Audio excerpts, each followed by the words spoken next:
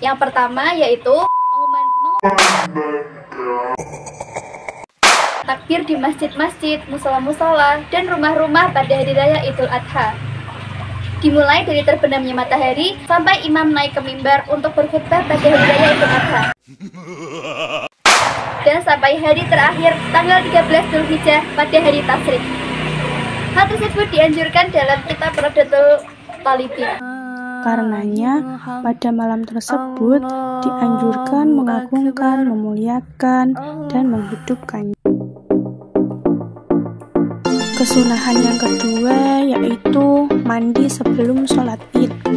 Hal ini boleh dilakukan mulai pertengahan malam sebelum waktu subuh dan yang lebih utama adalah sesudah waktu subuh. Kesunahan yang ketiga yaitu memakai kuku. Pada hakikatnya, hal-hal tersebut boleh dilakukan kapan saja, ketika dalam kondisi yang memungkinkan dan tidak harus menunggu datangnya hari raya. Misalnya saja sepekan sekali saat hendak melaksanakan sholat Jumat. Selanjutnya, yakni kesunahan memakai pakaian terbaik lagi suci.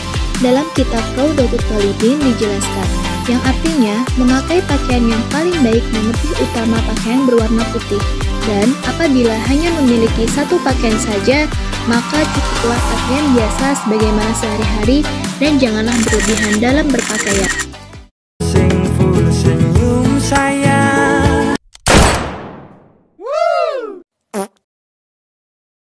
Yang kelima, ketika berjalan menuju masjid atau tempat sholat id, hendaklah berjalan kaki karena hal itu lebih utama dan diusahakan untuk melewati jalan yang berbeda.